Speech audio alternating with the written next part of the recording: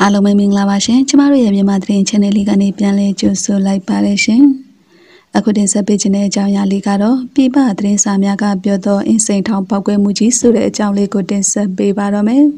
နိုင်ငံရင်းရှိအကြီးမားဆုံးထောင်ကြီးဖြစ်တဲ့အင်းစိန်ထောင်အတွင်းအဝင်ဝတွင်ရှမနီနန္ဒ9:40ခန်းကပါဆယ်ပုံးပောက်ကွဲခဲ့ပြီးထောင်ပေါ်ဝရှိမြောင်လိုင်းစစ်သားများကမဲမဲမြင်ရရန်တံပစ်ခတ်ခဲ့ရာ လူရှိဦးသေဆုံးခဲ့သည်ဟုပြည်ပမီဒီယာများတွင်သတင်းများပါရှိလာခဲ့ပါတယ်။အကျဉ်းသားများအတွက်ပြင်ပမှထောင်ဝင်စာပါစင်များလက်ခံယူနေသည့်ရုံးခန်းကောင်တာတွင်တန်းစီနေသည့်လူအုပ်ကြီးရဲ့ရှေ့တွင်ပောက်ကွဲသွားခြင်းဖြစ်ပါတယ်။ထိုပောက်ကွဲမှုကမိမိတို့လက်ချက်ဖြစ်ကြောင်းဆီယနာသိန်းအဖွဲ့အားစကြင်တိုက်ခိုက်နေသည့်မြို့ပြပျောက်ကြားအဖွဲ့ STA မှဆိုရှယ်မီဒီယာများပေါ်တွင်ရေးသားလာပြီးမင်းအောင်လှိုင်အားလက်တုံ့ပြန်ခြင်းအဖြစ်ဖော်ပြခဲ့ကြပါတယ်။ မိမိတို့ကယနေ့အင်းစိန်ထောင်မှုနှင့်အထဲတွင်ဖန်ဆီးခံရသောတော်လန့်ရေးရဲပေါ်များအားနှိပ်စက်နိုင်ခြင်းနေသူများကိုရည်ရွယ်တိုက်ခိုက်ခဲ့ခြင်းဖြစ်သည်ဟုဆိုပါသည်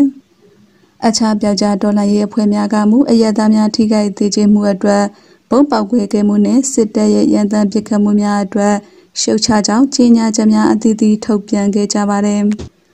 စစ်တပ်မှထိန်းချုပ်ထားတဲ့ MRTV သတင်းတွင်ပါဆယ်တုပ်အတွင်ပါလာသော မိုင်းများပောက်ကွဲပြီးအချင်းထောင်ဝန်ထမ်း3ဦးထောင်ဝင်စာလာတွေ့သူ9ဦးသေဆုံးပြီး18ဦးဒဏ်ရာရရှိသွားသည်ဟုပါရှိလာပါတယ်။ဒဏ်ရာရရှိသူများတဲ့တွင်ထောင်ဝန်ထမ်း9ဦးပါဝင်သည်ဟုသိရပါတယ်။သေဆုံးသွားသူအရသား9ဦးကပါဆယ်တုပ်များတည်ယူလာကြသူများဖြစ်သည်ဟု AP သတင်းအားကိုးကား၍ Fox News ကဖော်ပြထားပါတယ်။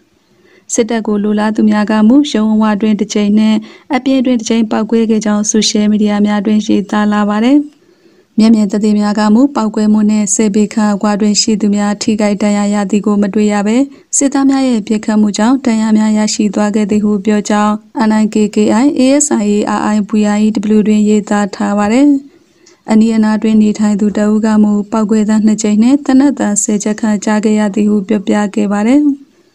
STA အဖွဲ့ကရန်ကုန်တွင်ပြောက်ကြားစစ်စင်ရေးများဆက်တိုက်ပြုလုပ်နေပြီးမကြာမီကလည်းတင်ငန်းကျော်လူဝင်မှုကြီးကြပ်ရေးရုံးအားဝင်ရောက်စီးနှင်တိုက်ခိုက်ခဲ့ကြပါတယ်။အင်းစိန်ထောင်ကကဘာပေါ်တွင်နာမည်ဆိုဖြင့်ကြိုးစုံနေသောထောင်ဖြစ်ပြီးနိုင်ငံရေးကျင်းသားထောင်ပေါင်းများစွာအတွက်လူငရေကမ်းများဖြစ်လာနေပါတယ်။ထိုငရေကမ်းများအတွင်း၎င်းတို့လက်ချက်ဖြင့်သေဆုံးသွားခဲ့သူပေါင်းတူနေတေရှိနေပြီဖြစ်ပါတယ်။ဒါအပြင်ပြည်တိရှာတမ်းမကြီးဟောင်းပစ်ကီပိုမန် ဩစတြေးလျစီးပွားရေးပညာရှင်ရှောင်းတနဲ့ဂျပန်ဗီဒီယိုသတင်းတောက်တူရူကူပိုဒါတို့အားအကြောင်းမဲ့ဖန်ဆီးချုံနှောက်ထားသည့်ထောင်ကြီးလည်းဖြစ်ပါတယ်။ Fox News ကရေးသားထားရာတွင်ပျောက်ကြားတော်လန်ရေးတပ်ဖွဲ့များကအတွေ့အကြုံနှင့်လေ့ကျင့်မှုအနေငယ်သာရှိပြီးမိမိတို့အစီအစဉ်ဖြင့်လှုပ်ဝက်စွာလှုပ်ရှားနေကြသဖြင့် အချို့တိုက်ခိုက်မှုများကစစ်တပ်ဒလန်များမှတော်လှန်ရေးအဖွဲ့များအပေါ်လူလူရဲ့ယုံကြည်မှုမေလာစေရန်အကွက်ချစီစဉ်ခြင်းမျိုးလည်းဖြစ်နိုင်ပြန်၍အမြဲလိုအငင်းပွားစရာကိစ္စမျိုးဖြစ်လာနေရသည်ဟုဖော်ပြထားပါတယ်။နိုင်ငံတော်ဝန်တော်လှန်ရေးကြီးကအရှိန်ရလာနေသည့်လက္ခဏာတရအဖြစ်စကိုင်းတိုင်းခန်းနီမြို့မှာရဲစခန်းအချုပ်ထောင်မှအကျဉ်းသား14ဦးတန်တိုင်းများကိုဖျက်ခါထွက်ပြေးလွတ်မြောက်သွားပြီးတနက်တလက်ပါယူဆောင်သွားခဲ့ပါတယ်။14ဦးထဲမှာ9ဦးပြန်လည်ဖမ်းခံခဲ့ရသည်ဟုသိရပါတယ်။ မွန်ပြည်နယ်ပြည်လင်းမြို့နယ်အတွင်းရှမ်းကုန်းမော်လမြိုင်အမြန်လမ်းမပေါ်တွင်မင်းအောင်လှိုင်ရဲ့လူလုံးပြခီးစင်ရဲ့တစိတ်တစ်ပိုင်းအဖြစ်ဖမ်းသို့ရောက်ရှိလာမှုအတွက်လုံခြုံရေးတာဝန်ယူပြီးမော်လမြိုင်မှတထုံသို့ပြန်လာသောရှင်နန်းကိုတနင်္လာနေ့ညကကရင်မျိုးသားလူမျိုးရေးတမတော်တင်မှခြုံခိုတိုက်ခိုက်ခဲ့ရာဗိုလ်မှူးတအုပ်ပိုးကြီးနှစ်ဦးအပါအဝင်စုစုပေါင်း9ဦးသေဆုံးသွားသည်ဟုသိရပါတယ်။မင်းအောင်လှိုင်ရဲ့အမတ်လေးလေးချင်းမြန်တမဌာနချုပ်မှာဖြူဟာမှုအဆင့်ရှိပုံမှုကြီးတအုပ်အား စနိုက်ပါဖြင့်ပစ်ခတ်တုတ်တင်နိုင်ခဲ့ကြောင်းကရင်မျိုးသားစီယုံ KNU မှသတင်းထုတ်ပြန်ခဲ့ပါတယ်